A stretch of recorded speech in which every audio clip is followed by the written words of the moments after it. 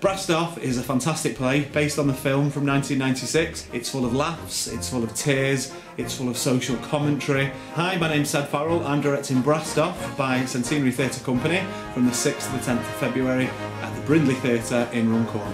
Hi, my name's Ewan and I'm playing Shane alongside Isaac. Shane is very confident and outgoing. He's a bit of a cheeky chappy personality. Danny is a passionate perfectionist. The music just lifts him. What is it Well, more than outhouse round here that symbolises pride? This bloody band, that's what! and the play really does come across and reflect that mm. and it sort of brings the whole community together. a bit like us rehearsing. Yeah. We've become, become a very tight knit community during We the have, rehearsal yes, process. yeah. As well. Really enjoyed rehearsals. They've been really good. I've, I've not done anything, a play or a show, for such a long time, and I've had such a blast doing rehearsals. It's been really, really good fun. They've been alright.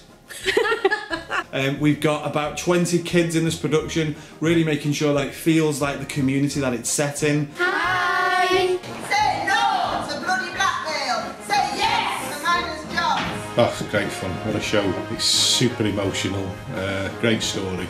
Brilliant fun. It's been alright. We've all become very close, haven't Yeah, we during have. that? Yeah. and had some really good times, some really Yeah, good laughs. yeah. so. Been very lucky because we've got Goldburn Brass Band, uh, one of the best brass bands in the area, to come and play all the music. The band is out of this world. It will sound stunning. If you miss it, you're missing a treat. The band, first off, are fantastic. They're brilliant, and and we're great too. We're Also the- really great. Direction of um, Sad Farrell. Yeah, wh- which is all right. which well, the director's perfect. One of the best directors I think Centenary's ever seen. Well, the director's been amazing. Well, he's been here. Directed magnificently by a strange man. The most significant theatrical event since Cats, probably.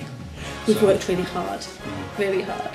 The Saturday night has almost sold out. If you want to come on a Saturday night, I suggest you book quite sharpish. And you know, when you're at home and you're freezing cold and there's nothing to watch on a cold February evening, then get down to the Brindley and the brass band will warm the cockles of your heart.